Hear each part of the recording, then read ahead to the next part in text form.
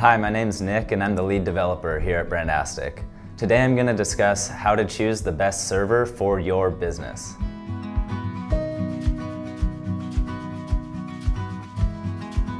A server is a machine where your files and data for your website are hosted. It is essentially a computer that serves your website to your users. A server's ability to perform is defined by its CPU, its RAM, and its storage resources. These are all provided by its hosting plan. There are a lot of different options when it comes to choosing a hosting package. There are shared hosting, managed hosting, virtual private servers, serverless environments, high availability environments. The list goes on and on.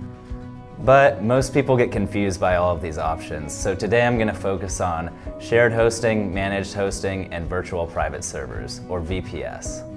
Let's take a look at a few key factors that impact your decision. Number one, resources and performance. Shared and managed solutions store your website in a container that is specific to your website, but the resources are shared amongst many containers.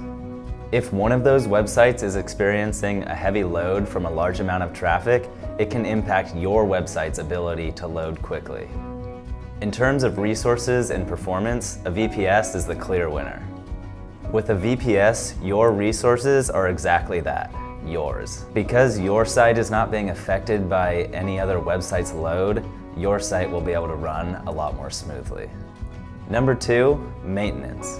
On a shared or managed hosting plan, your hosting provider is the one responsible for applying updates and applying security patches.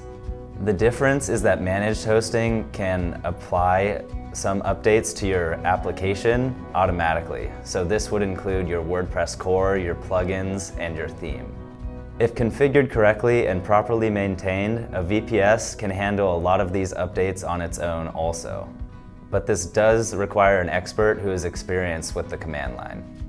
Because a VPS configuration is more flexible, you have the ability to improve your caching or apply a free SSL. The difference here is that on a VPS, if something breaks or something is misconfigured, it is your team's responsibility. Where on a shared host or a managed host, the hosting provider can usually step in and provide some assistance. Number three, cost. Because the shared and managed hosting providers are assuming more responsibility, these plans tend to cost more, but offer fewer resources. Shared hosting is typically between 8 and $25 a month, and managed hosting typically ranges between 35 and 200 plus dollars a month. But keep in mind that these resources are shared.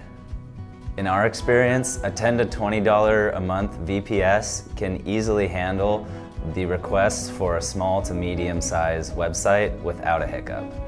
In summary, cost versus benefits can be misleading.